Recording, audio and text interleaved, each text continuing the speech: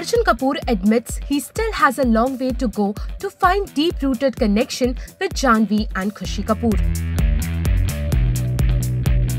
Arjun Kapoor's bond with his half-sisters Janhvi Kapoor and Khushi Kapoor has evolved dramatically over the years. They are children of producer Boney Kapoor. While Arjun and his sister Anshula are Boney's children from his first marriage to late Mona Shourie, Janhvi and Khushi Kapoor are Boney's kids from second marriage to late actor Sridevi. In fact, Arjun's relationship with his father was affected considering how Boney broke off his marriage with Arjun's mother Mona Shourie. In a recent interview, he opened up about his equation with Janhvi and Khushi, with whom he connected after their mother Sridevi's demise. In an interview, the actor said, I love both of them, Khushi and Janhvi. You have got to be honest with each other.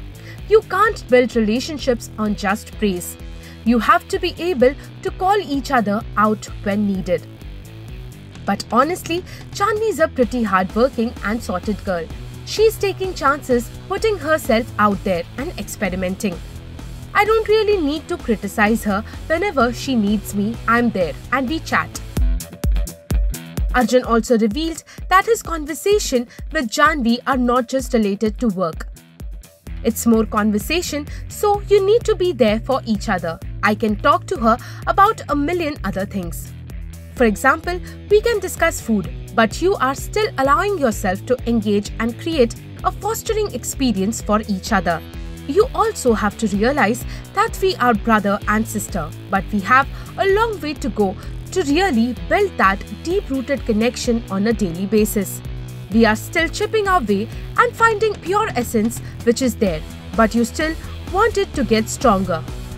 Obviously, I spend more time with Janhvi because she's a bit older and we have spoken a lot about work.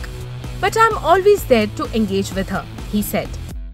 Meanwhile, on the work front, Arjun Kapoor has been receiving praises for his role as Danger Lanka in Singham Again.